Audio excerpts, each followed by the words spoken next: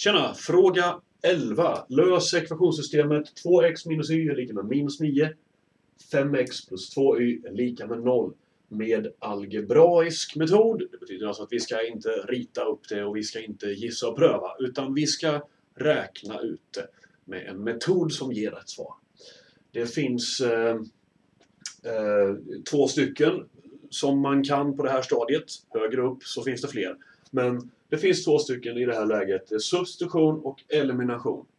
Och eh, det finns åtminstone två varianter utav varje då att göra detta. Men jag kommer visa en av varje. Okej, nu kör vi. Substitution betyder att man ersätter, det är som i engelskans substitute, eller hur? Ersättning.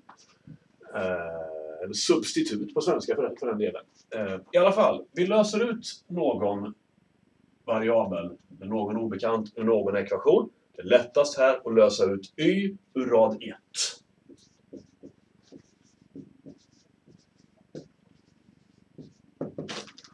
Vi har 2x minus y är lika med minus 9.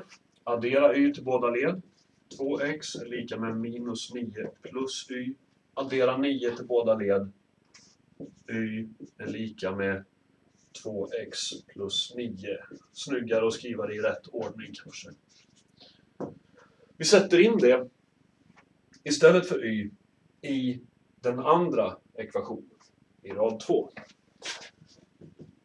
Ersätt y med 2x plus 9 i rad 2. Och då får vi 5x plus två gånger och stopp och belägg. Nu istället för y så sätter vi in 2x plus 9.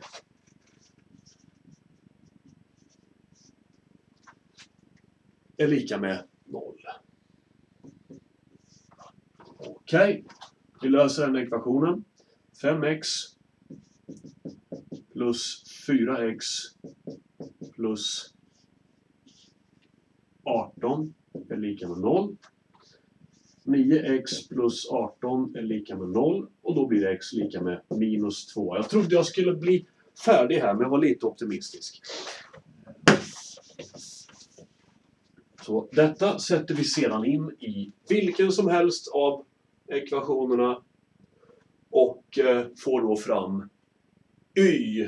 Nu kan vi ju redan, redan löst ut y här så det är väl bra att använda den då. Kan vi kalla den för någonting? Stjärna? Ska vi kalla den för? Ersätt x med minus 2 i stjärnekvationen. Då får vi y är lika med 2 gånger x som ju nu var minus 2 plus 9. y är alltså lika med minus 4 plus 9. Det blir 5 va? Och så svarar vi då. x är lika med minus 2, y är lika med 5. Är man riktigt smart nu så kollar man det här genom att sätta in de här värdena i ekvationerna och båda ekvationerna ska då stämma. Annars är det fel. Eh, 2 gånger minus 2 är minus 4. Minus 4 minus 5 är lika med minus 9. Så den första stämmer. Den andra får ni göra själva. Nu kör vi elimination som är, är variant 2.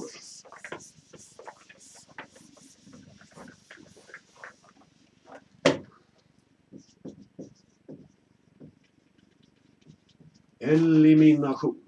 Okej. Okay. Vi skriver upp dem igen. 2x minus y är lika med minus 9 och 5x plus 2y är lika med 0. Okej, okay, om vi nu multiplicerar rad 1 här med 2.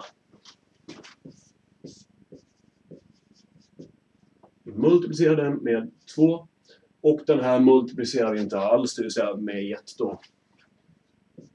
Jag kan skriva upp det för att vara riktigt noggranna. Så får vi 4x minus 2y är lika med minus 18. Den andra ekvationen multiplicerar bara med, med 1, så den är fortfarande 5x plus 2y är lika med 0. Och nu lägger ihop de båda raderna, adderar dem. Då kommer y att försvinna, elimineras. Så, ledvis, ledvis addition. Det vill säga jag adderar de två leden och jag adderar de två leden. 4x minus 2y plus 5x plus 2y är lika med minus 18 plus 0. Här försvinner y, minus 2y och minus 2y. Vi får 4x plus 5x 9x är lika med minus 18 och då är x lika med minus 2. Nu sätter vi in det i någon av ekvationerna. Vi kan väl ta den andra den här gången då.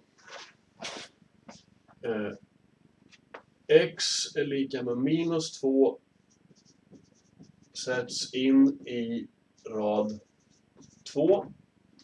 Och då får vi 5 gånger minus 2 plus 2y är lika med 0. Minus 10 plus 2y är lika med 0 och då är y lika med 5. Så svarar vi då.